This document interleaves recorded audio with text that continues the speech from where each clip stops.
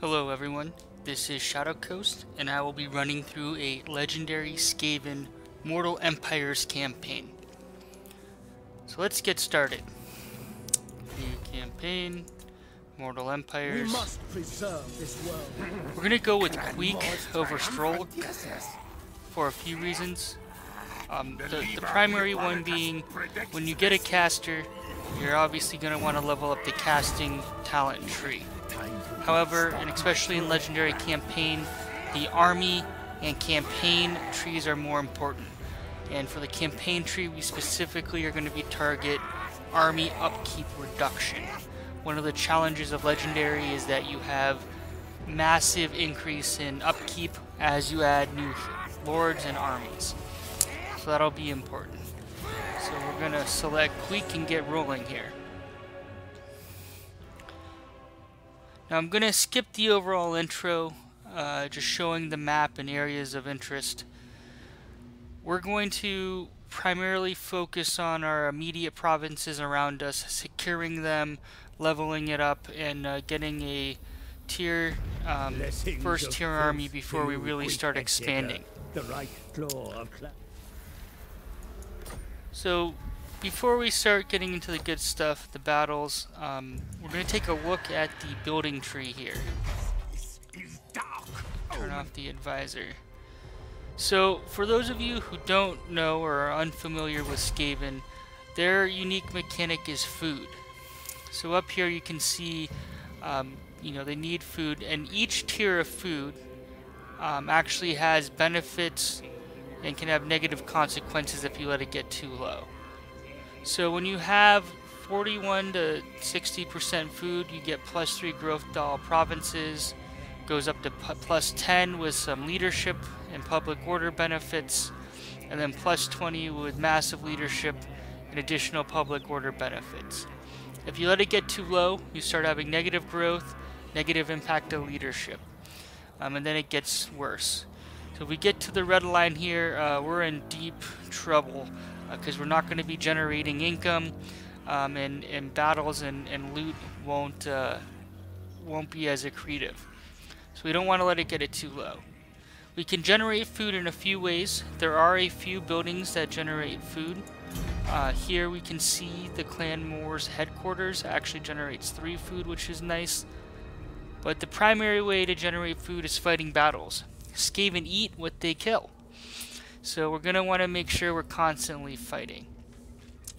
The other unique characteristic of Skaven is their nice interplay between Skaven Corruption and Untainted.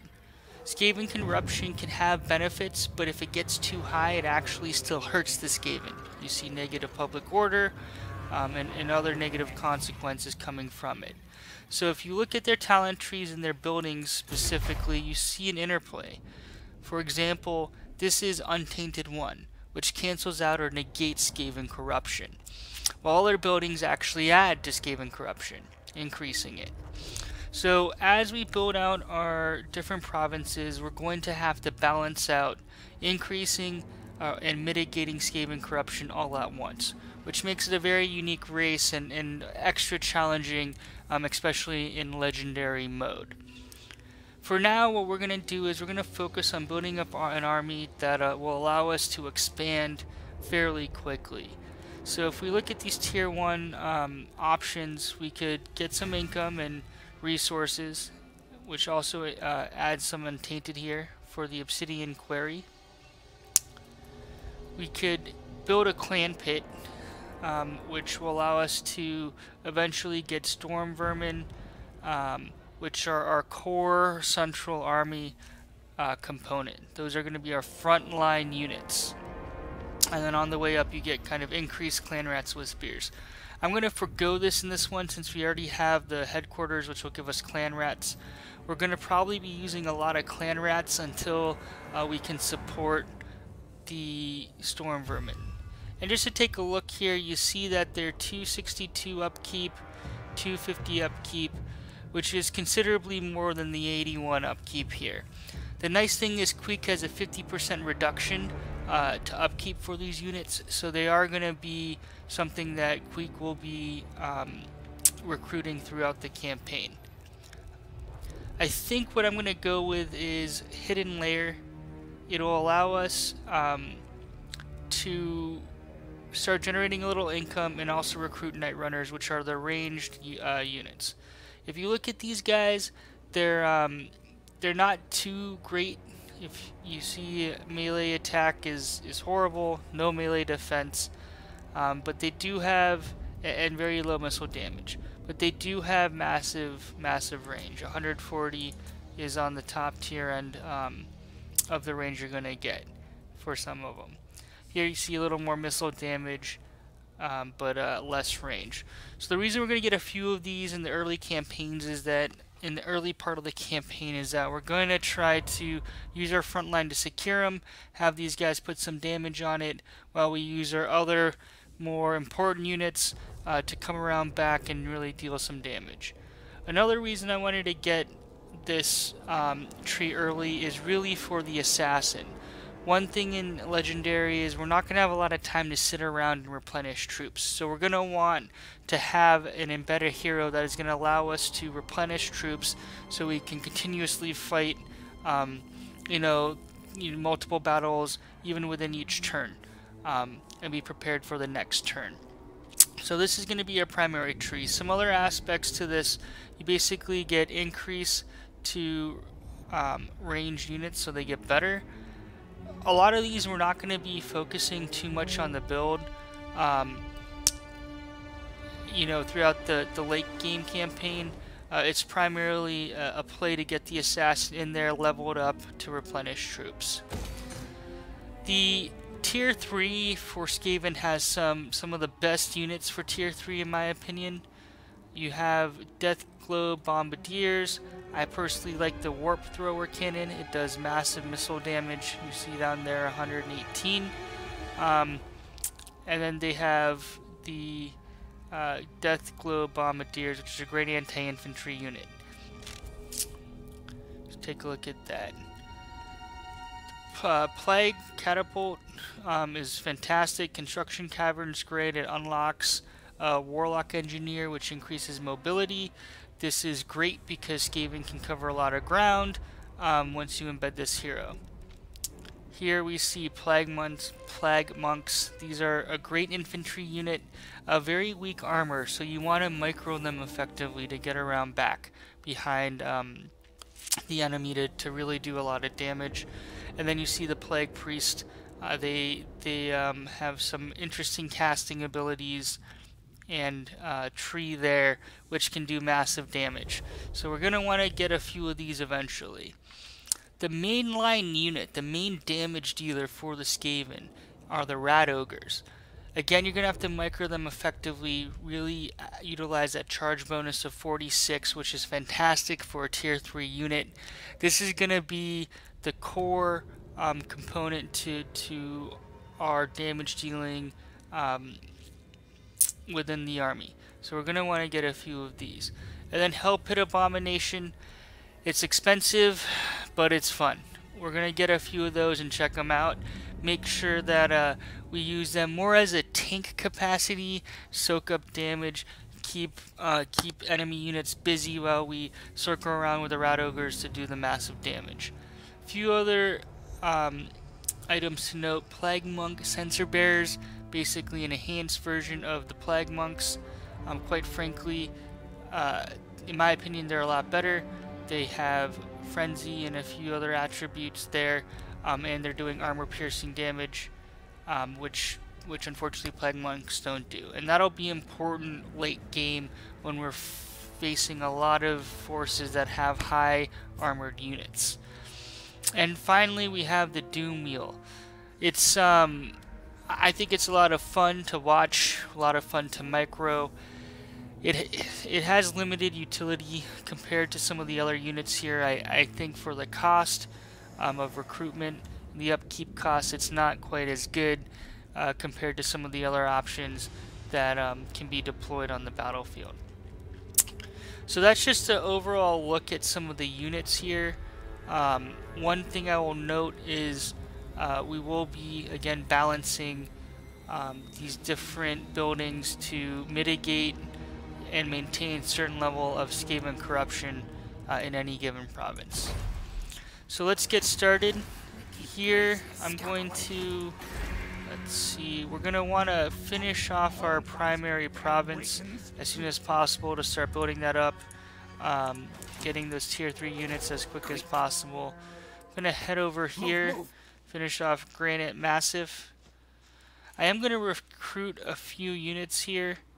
Um, I think I'm just going to go with a few Skaven Spears. These guys are just going to be frontline, soak up damage, keep the enemy busy, um, while I more micro the Storm Vermin to, to do more damage.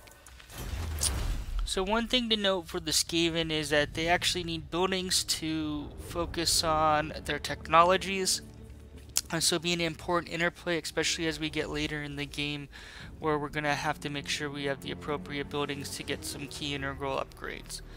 So one of the biggest ones is growth initially. We want to get up to tier 3, tier 4, tier 5 to get those higher end units and create tier 1 armies that are going to be able to um, steamroll our enemies.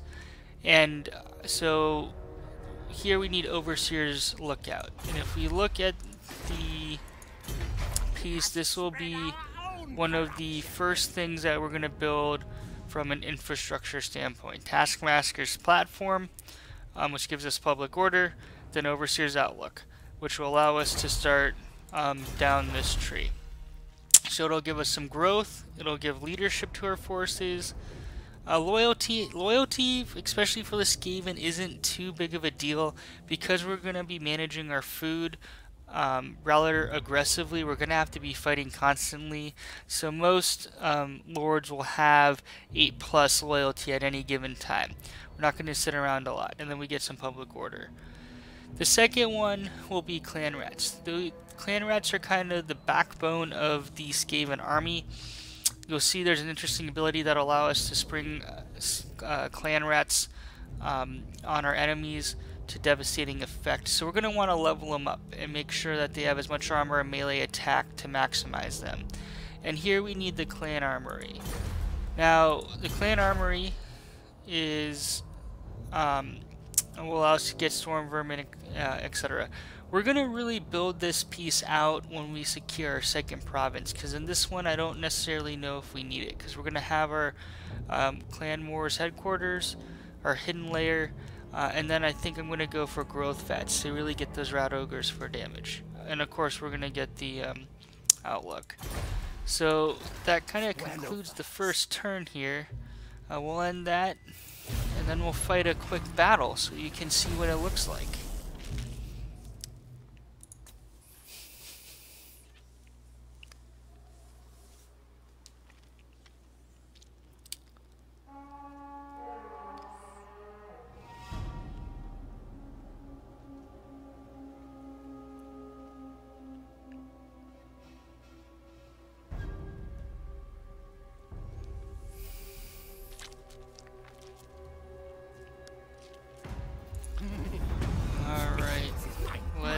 Us secure our opening province. So this will be an easy fight. I'm gonna run it. Um, so the the ability I mentioned before is the Menace Below. It actually allows us to play uh, deploy clan rats, I believe, anywhere on the map, a unit of them.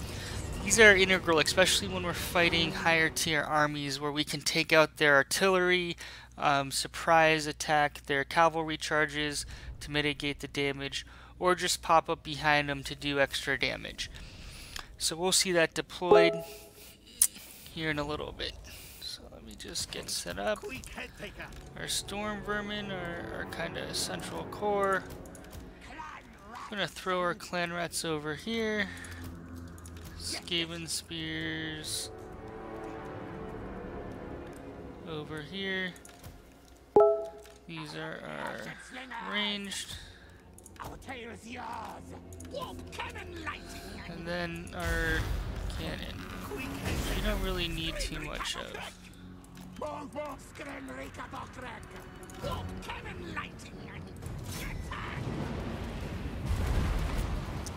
So this unit is really anti-large. Um, doesn't do much good against infantry, as you can see. Very good, master. Die, die! Attack! Charge! Clan rights! Agreed, agreed. Now move as you, you wish. What, what? Alright, so let's see how this works. I'm gonna deploy some guys from behind. Have those clan rats come out and attack. These guys circle around. Surrender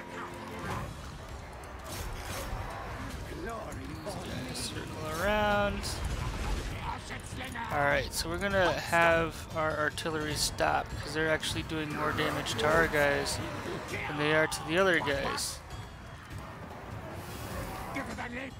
What, what orders? Alright, so as these guys run, we're gonna want to kill them. So the more we kill here, the uh, the more food we're gonna get, hypothetically. So we'll see if that actually plays out. Alright, they're gonna run. Stop these guys.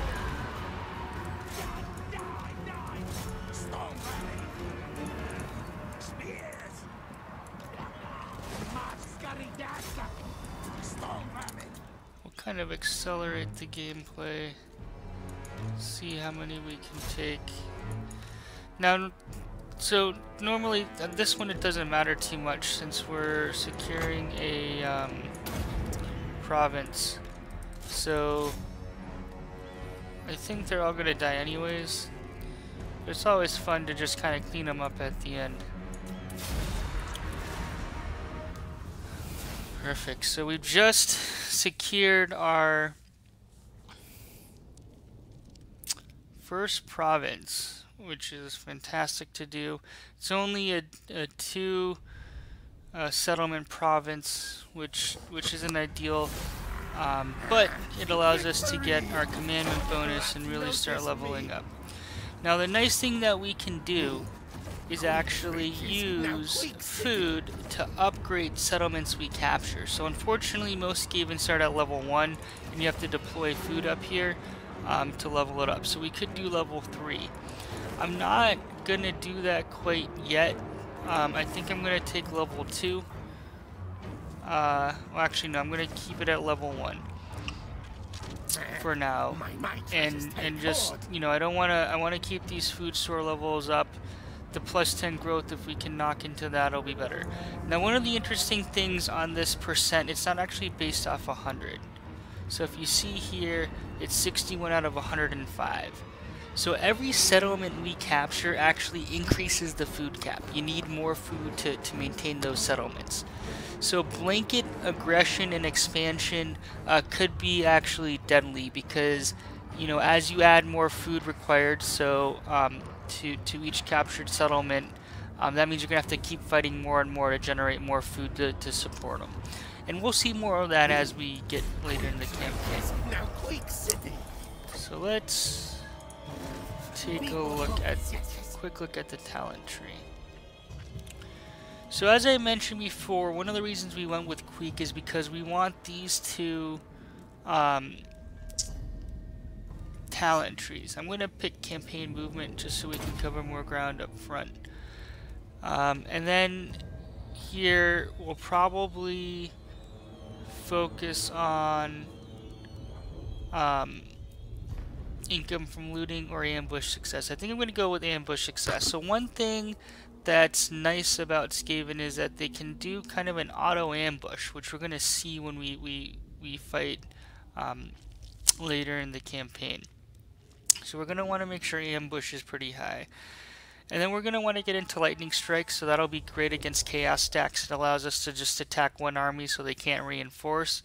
And then the key piece here is we really want the quartermaster, making sure we get that reduction in upkeep cost, and then renowned and feared, making it harder for heroes sacked against us, and also giving us another 8% for upkeep reduction. The next tree is the army tree, is what I like to call. We're gonna definitely go for pack uh, pack leader, enhancing clan rats. Again, we see all those upgrades. We want to upgrade them. They become a decent tiered unit for how cheap they are. Great cost to effectiveness ratio that we're going to want to capitalize on. And then um, further build it out. We have a bunch of one point wonders. I'll get into these a little bit later. Um, they're more late game here.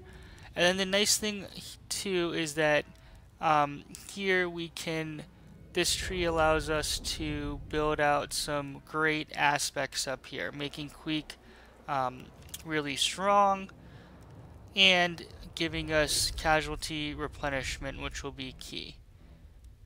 So I think, I'm not sure if we can get all these or if they're mutually exclusive, um, but we'll take a look at that. Definitely leaning towards upkeep reduction and army replenishment. So that Oh, let's take a quick look. So here, um, we're gonna upgrade, and you know, I think we are actually gonna have a clan armory here. They already built the base structure. We're gonna upgrade it. Um, the primary reason being we do want to be able to unlock this talent tree where we can start upgrading clan rats um, since they're core to our army. So let me see. We're gonna do growth. We want growth, and then gonna need two to get there, which I think will be be okay. So we're gonna we're gonna hold off.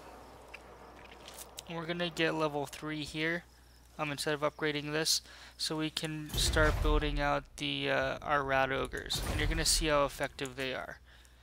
So that concludes the first turn um, first yeah two turns of this video stream.